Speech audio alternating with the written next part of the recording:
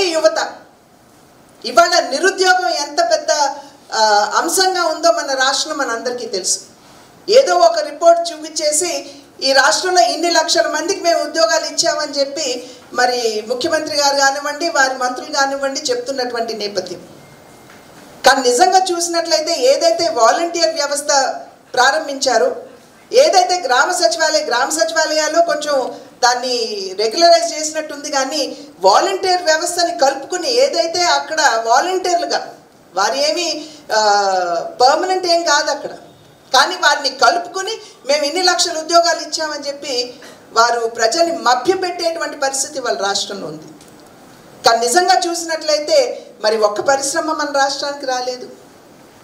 ఉన్నటువంటి జరుగుతున్నటువంటి భూ కబ్జాలు ఏవైతే ఉన్నాయో అదేవిధంగా పారిశ్రామికవేత్తల మీద ఏదైతే ఇవాళ ఒక వారిని ఇబ్బంది పెట్టేటువంటి వాతావరణం ఇవాళ రాష్ట్రంలో నెలకొని ఉన్నదో ఆ నేపథ్యంలో పెట్టుబడులు రాకపోవటం పోగా పెట్టుబడులు విత్డ్రా తీసుకుని ఈ రాష్ట్రం నుండి బయటకు వెళ్ళేటువంటి నే పరిస్థితి ఇవాళ మనం రాష్ట్రంలో చూస్తున్నాం. జాకీ మనకు తెలుసు.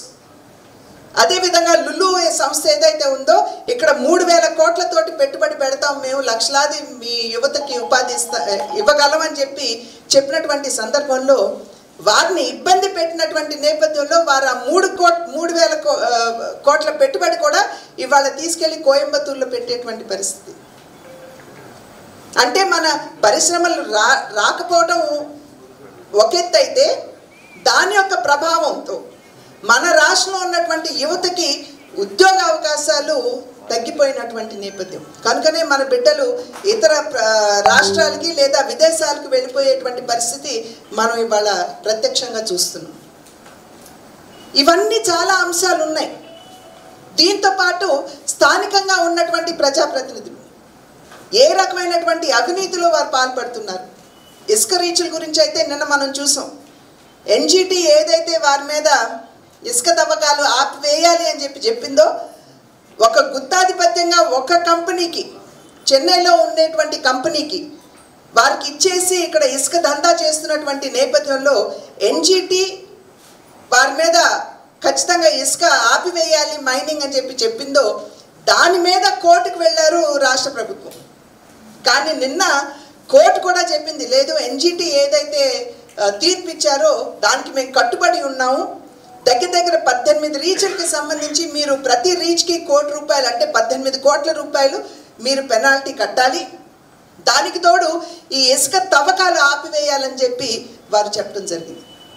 మరి వాళ్ళు మనకు మనందరికీ తెలుసు అన్నమయ్య ప్రాజెక్టులో మరి గేటు తెగిపోయింది అని అంటే దానికి కారణం ఒక ఒక కారణం ఖచ్చితంగా అక్కడ జరుగుతున్నటువంటి ఈ అవినీతిగా చేస్తున్నటువంటి ఇసుక మైనింగ్ ఏదైతే ఉందో అది కారణం అని చెప్పి నివేదికలు కూడా తెలిపినటువంటి విషయం.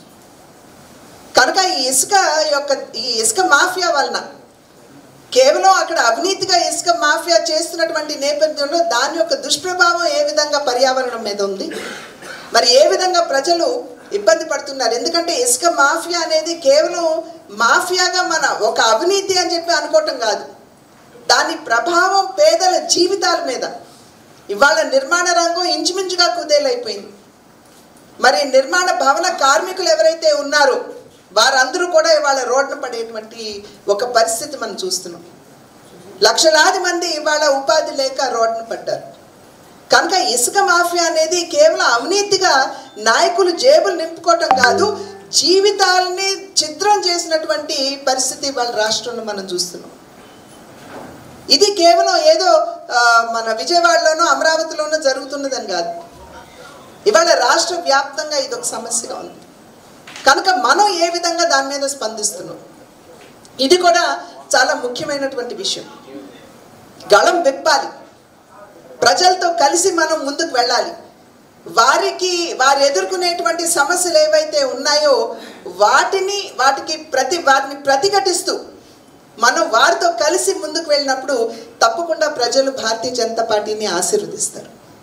ఒక ప్రత్యామ్నాయ శక్తిగా మనం చూసేటువంటి అవకాశం ఉంటుంది. మనం ఒక బలీయమైనటువంటి శక్తిగా ఎదిగేటువంటి అవకాశం ఉంటుంది. కనుక ఒక పక్క సంస్థాగతపరమైనటువంటి బలోపేతం మన పార్టీని ఏ విధంగా బలోపేతం చేసుకోవాలి అనేటువంటి అంశాన్నిపై ఖచ్చితంగా దృష్టి సారిస్తూ రెండో పక్కన మనం గట్టిగా తీసుకోవాల్సినటువంటి సంకల్పం మనం ప్రజా ప్రజలు ఎదుర్కొనేటువంటి సమస్యలపై మనం ఏ విధంగా స్పందిస్తాం? ప్రతి ఒక్క జిల్లాలో పరిస్థితులు వేరుగా ఉంటాయి. ఆ జిల్లాలోనే ప్రతి మండలంలో పరిస్థితులు వేరుగా ఉంటాయి. కనుక ఇది కేవలం రాష్ట్ర స్థాయిలో మనం చేసేటువంటి కార్యక్రమం కాకుండా జిల్లాలు మండలాల దాకా కూడా గ్రామాలు వీలైతే గ్రామాల్లో కూడా ఎదుర్కొనేటువంటి పరిస్థితులు. నిన్న మనం మనం చూస్తున్నాం. ఏ విధంగా సర్పంచ్లు? పార్టీ అతీతంగా ఈ పార్టీ ఆ పార్టీ అని లేదు.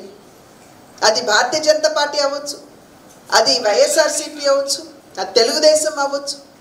ఈ ఈ పార్టీలకి సానుభూతి పరులుగా ఉన్నటువంటి సర్పంచులు కూడా పార్టీలకు అతీతంగా ఇవాళ రాష్ట్రంలో ఆందోళన చేసేటువంటి పరిస్థితి. ఎందుకంటే ఒక పక్క పదిహేనవ ఆర్థిక కమిషన్ ప్రకారం వాళ్ళకి డైరెక్ట్గా ఫండ్స్ వస్తున్నా ఆ వనరుల్ని సైతం డైవర్ట్ చేసుకుని అక్కడ గ్రామాలు అభివృద్ధి అనేది అభివృద్ధి మీద సీత కన్ను వేసి ఇవాళ ఏ రకమైనటువంటి ఇబ్బందులు అక్కడ ప్రజలు పడుతున్నారో మనకు తెలుసు. డ్రైనేజ్ వ్యవస్థ లేదు రోడ్లు సరిగ్గా లేవు డ్రింకింగ్ వాటర్ సరిగ్గా లేదు జల్ జీవన్ మిషన్ మనం తీసుకొచ్చినా కూడా దాన్ని సరిగ్గా ఇంప్లిమెంట్ చేసేటువంటి ఒక పరిస్థితి వాళ్ళ రాష్ట్రంలో లేదు. కనుక ఇవాళ సర్పంచులు ప్రశ్నిస్తున్నారు. మాకు ఓటు వేసి మమ్మల్ని ఆశీర్వదించి మమ్మల్ని గెలిపించినటువంటి ప్రజల దగ్గరికి ఏ ముఖం పెట్టుకుని మేము వెళ్ళామని చెప్పి వారు డైరెక్ట్గా వేస్తున్నటువంటి ప్రశ్న. కనుక ఇవాళ రాష్ట్రం అంతా కూడా ఎటు చూసినా మనకి సమస్యల వలయమే మనకు కనపడుతుంది.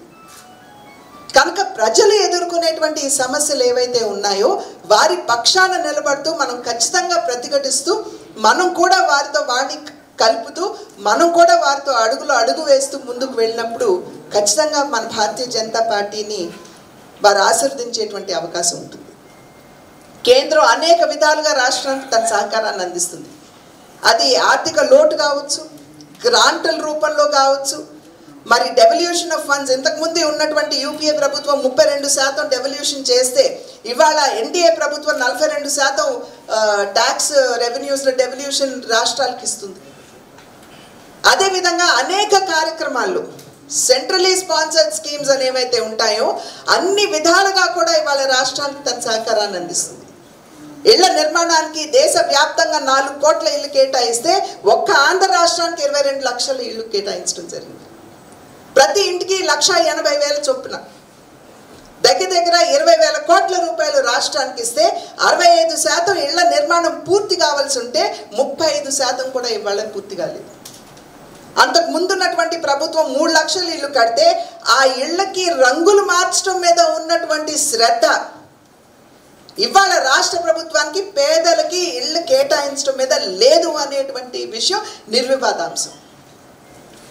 ఇవాళ కనుక మనం చూసినట్లయితే ఇంతకు ముందు ఇళ్ళకని చెప్పి కేటాయించినటువంటి భూములు అంటే కట్టినటువంటి ఇళ్ళు పేదలకి ఇంకా ఇవ్వడానికి ఏదో కొసమెరుపులే ఉన్నాయి వాటిని పూర్తి చేయాలి అని చెప్పి చెప్తూ ఇంతకు ముందు ఏవైతే భూములు పేదలు ఇళ్ళ కోసం అని చెప్పి కేటాయించారో ఆ భూముల్ని అమ్మి ఇవాళ ఇళ్ళు పూర్తి చేసి మేము పేదలకు ఇస్తామని చెప్పి చెప్తున్నారు. ఇది సమంజసమా? ఇది ఆమోదయోగ్యమా? ఈ విషయాలు మనమందరం కూడా గుర్తించాలి. మహిళలు కట్టేటువంటి మరుగుదొడ్లు అదేవిధంగా గ్రామీణ ప్రాంతంలో కావచ్చు పట్టణంలో కావచ్చు జల్ జీవన్ మిషన్ ద్వారా ప్రజలకి నీరు అందించేటువంటి వ్యవస్థ కుళాయిని ఇళ్ళకే ఇచ్చింది. ఇవాళ అది కూడా సవ్యంగా జరగటం లేదు.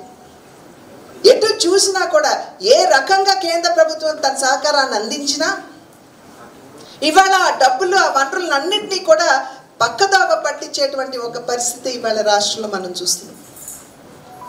ఇంకా ఆర్థిక వ్యవస్థ ఇందాక చెప్పినట్టుగా చిన్న భిన్నంగా ఉంది. కనుక ఈ విషయాలన్నింటినీ కూడా మనం అవగాహన పెంచుకోవాలి ముందు.